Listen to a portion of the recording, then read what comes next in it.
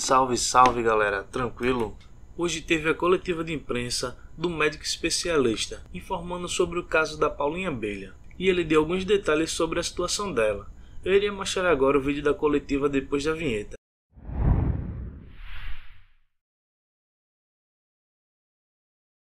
Em que situação encontra-se a senhora Paula? Ela chegou em coma, continua em coma, um coma grave, um coma profundo, um rebaixamento severo de sensório.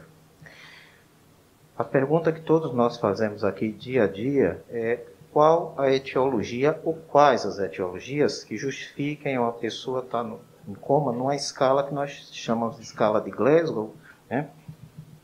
E essa escala de Glasgow ela está em 3, que é a nota mais baixa que você pode ter numa escala de classificação de coma. Vou pedir para que todos os fãs façam orações e de energias positivas para que ela consiga sair dessa. Obrigado por assistir e se inscreva em nosso canal.